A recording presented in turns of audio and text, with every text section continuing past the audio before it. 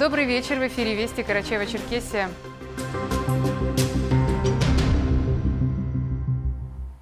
Сегодня для России особенный день. 80-летие победы в Курской битве. Глава Карачаева-Черкесии Рашид Тимрезов обратился к жителям региона. 50 дней и ночей тяжелейших боев. Более двух миллионов воинов, в числе которых и наши земляки. Тысяча танков. Это было одним из масштабных и кровопролитных сражений в истории Великой Отечественной войны. Но благодаря своему мужеству, стойкости и отваге советские воины одержали победу на Курской дуге. Немецко-фашистские захватчики были разгромлены. Этот триумф стал переломным в истории и навсегда изменил ход той страшной войны. Отрадно, что события тех лет находят отклик в сердцах наших граждан. В честь 80-летия Победы в сражении в Паныровском районе Курской области торжественно откроют мемориальный комплекс «Курская битва». Спасибо всем, в том числе жителям Карачева-Черкесии, которые не остались в стороне и оказали поддержку в открытии мемориала. Это дань памяти тем, кто воевал на полях сражений за мирное небо и счастливое будущее нашей страны. Низкий поклон участникам битвы за героизм, смелость и стойкость – Карачаево-Черкесия и вся Россия будет вечно помнить и чтить подвиг героев, отметил Рашид Тимрезов. Сегодня Карачаево-Черкесию посетил руководитель Федеральной службы по надзору в сфере образования и науки Анзор Музаев. Он принял участие в ежегодном августовском совещании педагогических работников Карачаева-Черкесии. Подробнее Артур Мкце. Руководитель Федерального надзорного ведомства Анзор Музаев днем ранее принимал участие в совещании работников образования Кабардино-Балкарии. В рамках визита по регионам Северного Кавказа следующей стала Карачаево-Черкесия. Около Центра для одаренных детей «Спутник» в Черкеске развернулась настоящая образовательная экспозиция. Вузы, колледжи и лицеи Карачаево-Черкесии демонстрировали в своих шатрах плоды обучения воспитанников, сладости, предметы труда, творческие работы. Выставку приурочили к началу ежегодного августовского совещания педагогов, в котором также принимают участие представители органов власти, профильных региональных и муниципальных ведомств и комиссий. На этот раз мероприятие посетил и руководитель Федеральной службы по надзору в сфере образования и науки. После приветственного видеообращения главы Минпросвещения Сергея Кравцова Анзор Музаев рассказал о ряде экспериментов и решений, которые должны облегчить труд педагогов – в частности, речь идет о сокращении для учителей количества бумажной работы. Так, многие школьные наставники в дополнение к ведению дневника в электронном виде по старинке продолжают заполнять и бумажную его версию. Кроме того, пока велико количество документов, которые в образовательных учреждениях собирают, так сказать, на все случаи жизни. А ведь многое можно решить на уровне региона, не вешая все на педагогов.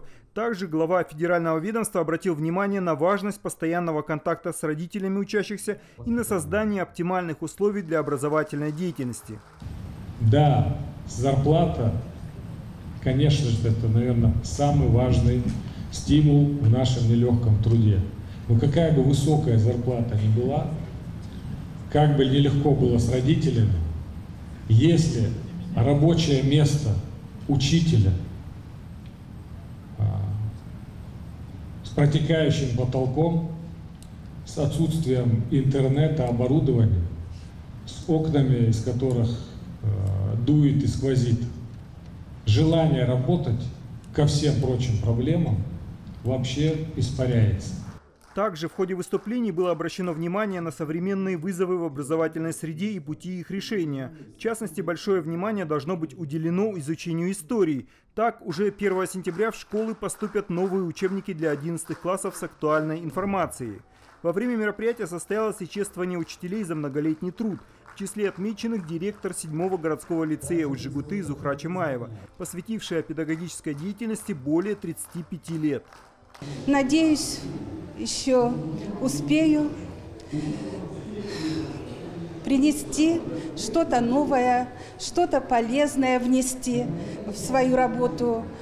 Естественно, эта награда не только моя личная, я разделяю свою награду со своим коллективом, со своей командой. Августовское совещание почти всегда служит этаким вектором для дальнейшей деятельности педагогов республики. В этом году система образования прошла подготовку к новому учебному процессу. Учителя также продолжат уделять большое внимание не только образовательной работе, но и патриотическому воспитанию подопечных, да и оснащение теперь куда лучше прежнего. В этом году мы сдаем 18 школ хочу отметить, что по поручению главы мы их сдаем досрочно, 1 сентября 18 школ у нас сдаются, 5 школ у нас остаются до конца текущего года. Из них 4 школы откроются в ноябре уже и в декабре откроется крайняя школа. Очень важно отметить, что в прошлом году мы отремонтировали 18 школ и 5 школ у нас переходящих было из года в год.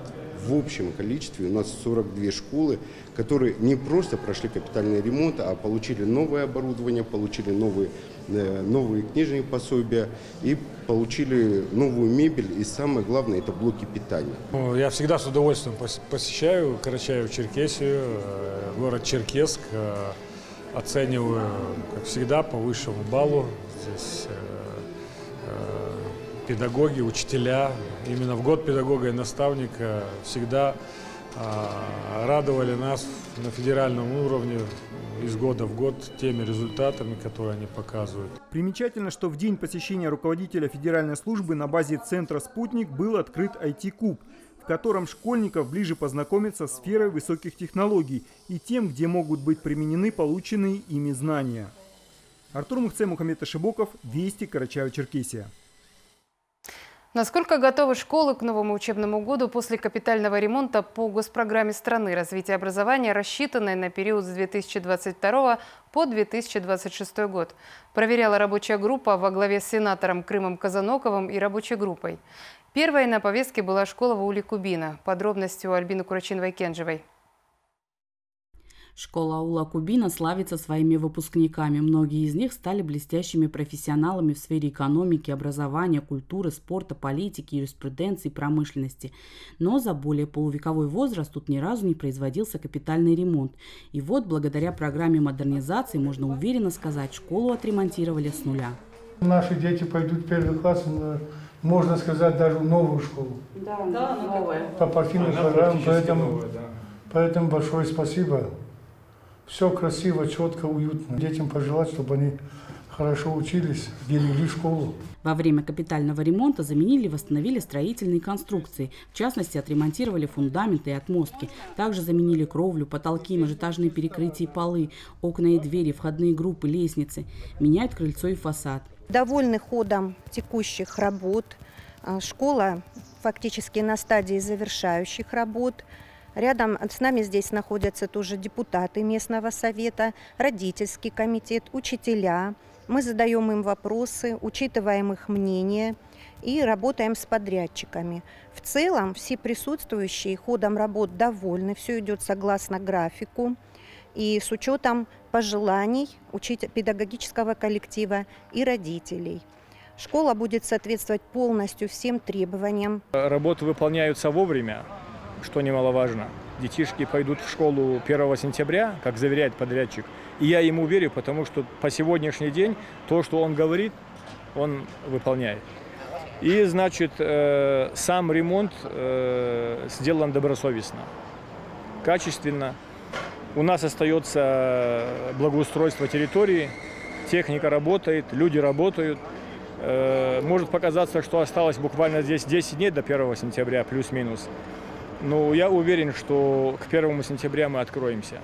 В школе имеется столовая, спортивные актовые залы, мастерские по дереву и металлу, учебный кабинет и библиотека, музей аула и боевой славы. В настоящее время в здании и снаружи завершаются последние штрихи, а с сентября школа распахнет свои двери для учащихся аула. В школе обучается 158 ребят, а для 10 первоклашек в этом году зазвенит первый в жизни звонок на урок. Альбина Курачинова, Кенжева, Алибастанов, Вести, Карачаева, Черкесия, Кубина. А сейчас прогноз погоды на завтра от синоптиков.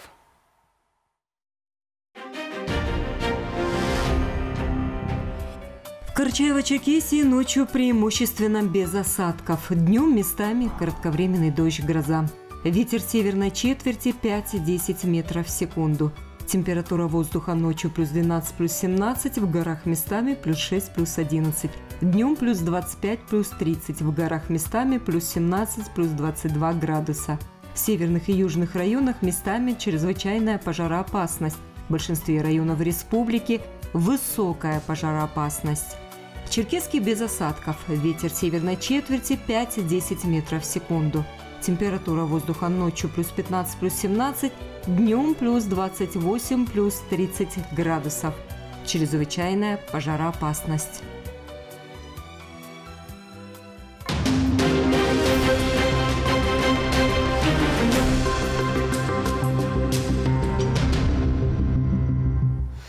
ФСБ России по Карачево-Черкесии в результате проведения оперативно-розыскных мероприятий задержан 49-летний житель республики. Руководитель одного из муниципальных предприятий Черкеска за попытку дать взятку сотруднику органа безопасности в размере 500 тысяч рублей за прекращение проверочных мероприятий на возглавляемом им объекте. На основании материалов ФСБ России по Карачево-Черкесии в отношении задержанного Следственным комитетом возбуждено уголовное дело. Подозреваемый задержан. Личные примеры и обсуждения. В Черкеске состоялся обучающий семинар для независимых наблюдателей. Готовят их к предстоящим дополнительным выборам депутата Государственной Думы Федерального собрания Российской Федерации 8 созыва по Карачево-Черкесии, Республиканскому одномандатному избирательному округу номер 16. О значимости работы наблюдателя расскажет Альбина Ламкова. Программа семинара по обучению общественных наблюдателей насыщена и интенсивна. Большая часть занятий уже позади. Почти все получили необходимые знания о законах, условиях и алгоритмах работы на выборах. С каждым годом растет как роль общественных наблюдателей, так и требования к ним. Поэтому учеба лишней не будет. Мы объезжаем каждый район. Это полноценные знания нормативной базы. Если не будет подкона общественный наблюдатель, если он не будет юридически грамотен, он не сможет выполнять свои функциональные обязанности.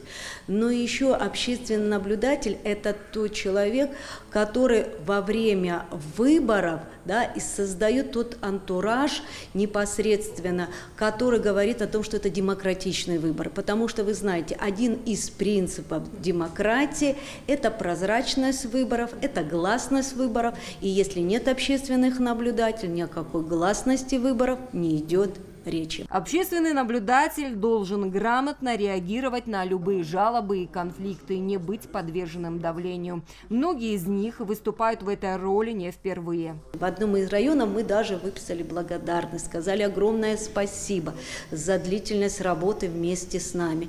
Но у нас и прибывает и новые общественные наблюдатели, молодежь. Наблюдатели от общественной палаты являются независимыми субъектами общественного контроля. Они не представляют интересы отдельных кандидатов или партий, что позволяет обеспечить беспристрастность и объективность наблюдения, рассказала Елена Ляшова. Вот сегодня буквально с Ларисой Хасамбиевной мы подписали соглашение о взаимодействии с избирательной комиссией, дополнительное соглашение, которое мы подписываем каждый год. И это говорит о том, что э, избирательные комиссии доверяют общественной палате. У нас были заключены соглашения соглашения с партиями, с общественными объединениями, э, некоммерческими организациями. Это тоже говорит о том, что общественной палате и нашим наблюдателям доверяют.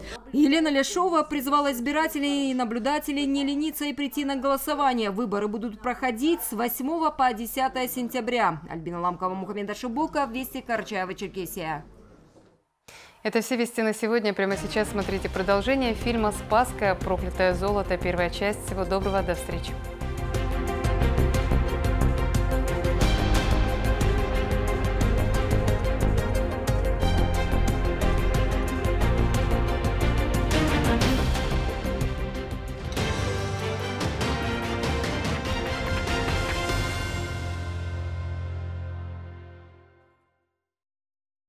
Детям России лучшее образование в мире. Мы предлагаем отменить ЕГЭ и ОГЭ в школах, повысить заработные платы учителям и воспитателям детских садов, принимать на бесплатной основе студентов в технические вузы России на конкурсной основе. 10 сентября приходите на избирательные участки и сделайте свой правильный выбор.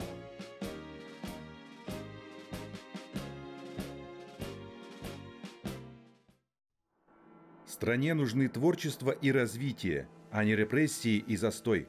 Мы за безусловную ценность человеческой жизни, поэтому мы выбираем мир. Порой кажется, что впереди нет просвета, но самый темный час именно перед рассветом. Вам говорят, что выбора нет, А выбор есть. И если вы гражданин своей страны, сделайте такой выбор. Голос за яблоко – это голос за мир и свободу. Уважаемые земляки, став депутатом Государственной Думы, обязуюсь работать на благо процветания нашей республики, ее многонационального народа.